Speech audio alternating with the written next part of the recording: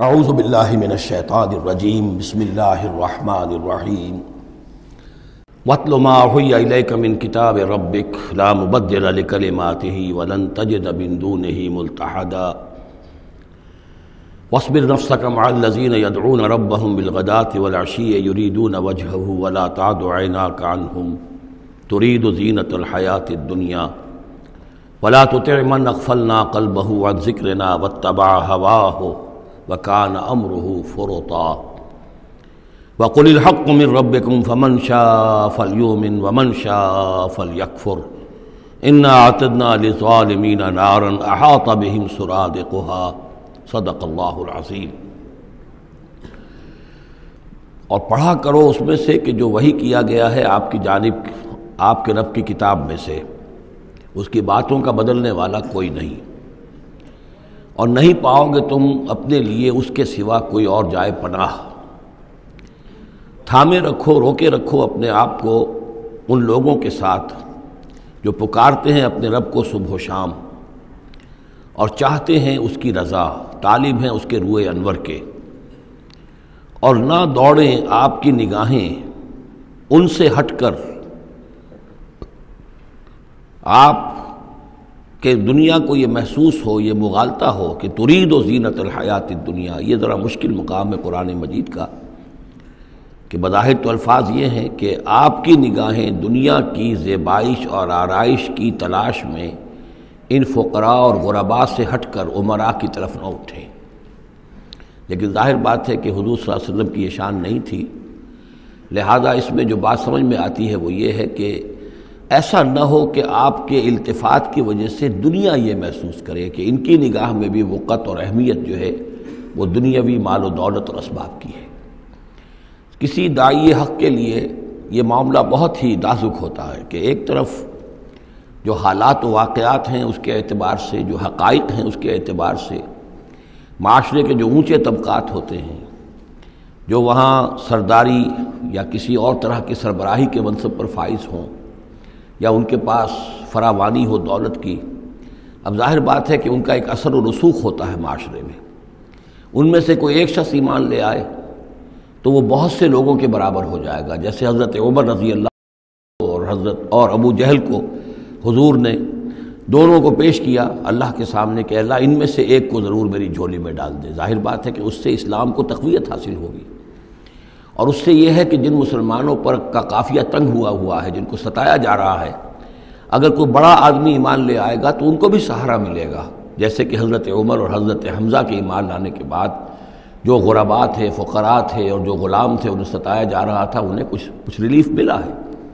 اس حوالے سے ایک طرف تو اس کی ضرورت ہوتی ہے کہ ان کی طرف توجہ کی جائے، التفات رکھا جائے تاکہ اگر وہ ایمان لے آئے تو اس سے ایمان کو بھی تقویت ہو، اسلام کو تقویت ہو، مسلمانوں کو بھی فائدہ پہنچے۔ دوسری طرف یہ اندیشہ ہوتا ہے کہ غربا کا دل نہ دکھے۔ تیسری طرف یہ کہ لوگ یہ نہ سمجھیں کہ یہ بھی زیادہ جو ہے مدارات کرتے ہیں اور زیادہ التفات کرتے ہیں عمرا کی طرف، اہم لوگوں کی طرف۔ گویا کہ ان کی نگاہوں میں بھی دنیا کی انہی چیزوں کی وقت ہے، انہی چیزوں کی اہمیت ہے۔ تو یہ تین طرف کے چیز سمجھیے کہ یہ چکی دو پارٹوں والی نہیں، تین پارٹوں والی ہے۔ کہ جس میں کوئی داعی جو ہوتا ہے وہ اس مقبصے میں آ جاتا ہے کہ ایک طرف تقاضا یہ ہے خود تحریک کا، دعوت کا، اس جد و جہد کا، اس کے تقاضے یہ ہیں کہ ان کی طرف التفات ہو، ان کی طرف توجہ کی جائے تاکہ ان میں سے کچھ لوگ ایمان لے آئیں۔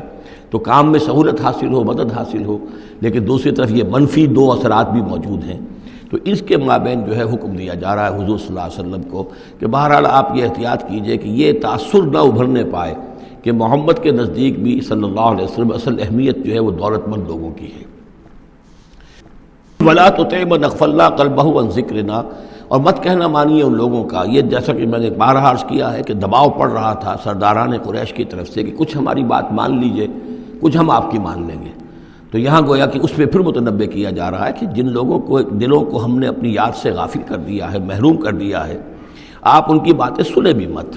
ان کی طرف دھیان بھی مت دیجیے ولا تو من اللہ کل بہو ذکر نہ و تباہ ہوا ہو کان امرح فروتا وقل الحق کو مل رب یہ جو مضمون ابھی ہم نے دوبارہ پڑھا ہے، اس کو آپ دیکھیں گے کہ یہ اکیسویں پارے کی آغاز میں پھر دوبارہ آئے گا کہ جب بھی شدید کشاکش کا دور آیا ہے تو اس میں یہی ہدایات اللہ تعالیٰ کی طرف سے آئی ہیں حضور کو اور حضور کی وساطت سے تمام اہل ایمان کو۔ کہ قرآن مجید کے ساتھ تمسک جو ہے اور مضبوط کرو، قرآن مجید کے ساتھ اپنے تعلق کو اور گہرا کرو اور اس کو پڑھنا اور اس کا جو ہے، اس کو اس کے ساتھ جو ہے اپنے اوقات کا بسر کرنا، اس میں اور اضافہ کرو، اسی سے تم ان شدائد اور مصائب کا مقابلہ کر سکو گے۔ وقل الحق من ربکم اور کہہ دیجیے یہ حق ہے میرے رب کی طرف، تمہارے رب کی طرف سے جو میں پیش کر رہا ہوں۔ فمن شاہ فلیومن ومن شاہ فلیقف تو اب جو چاہے ایمان لائے، جو چاہے کفر کرے۔ یہ بالکل وہی بات ہے جس صورت الدہر میں کہی گئی ہے کہ اما شاکرم و اما کفورا۔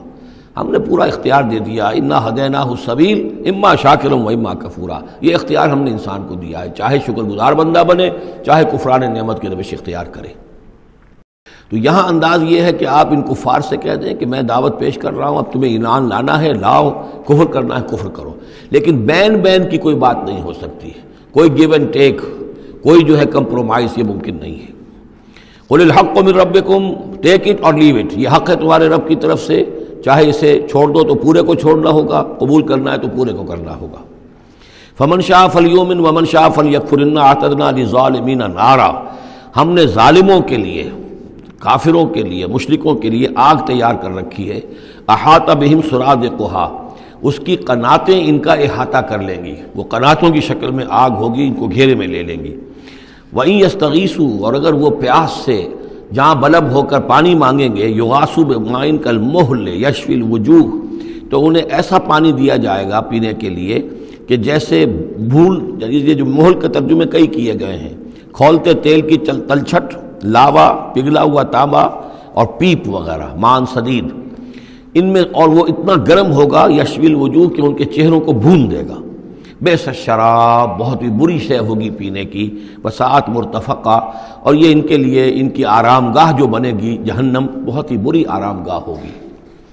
اس کے برعکس، وہی سائملٹینیس کنٹراسٹ کا اسلوب، ان الزین آمن و عامر الصالحات، جو لوگ ایمان لائیں اور نیک عمل کریں، ان لا نضی و اجرمن احسن عملہ ہمارا یہ اصول نہیں ہے کہ جو لوگ اچھے عمل کریں، ان کے اجر کو ہم ضائع کر دیں۔ ان کا اجر بھرپور انہیں ملے گا۔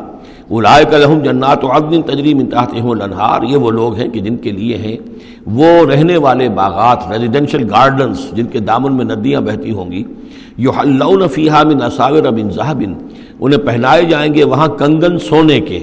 وجل بسون سیابن خود رم سند و سن اور ان کو وہ پہنیں گے وہاں پر کپڑے، سبز رنگ کے، باریک ریشم کے اور گاڑھے ریشم کے۔ یعنی اوپر کا لباس جو ہوگا وہ باریک ریشم کا ہوگا اور جو نیچے کا لباس ہوگا وہ گاڑھے ریشم کا ہوگا۔ متقین فیحہ علی الرائق اور وہ وہاں پر تکیہ لگائے ہوئے، ٹیک لگائے ہوئے بیٹھے ہوں گے تختوں کے اوپر۔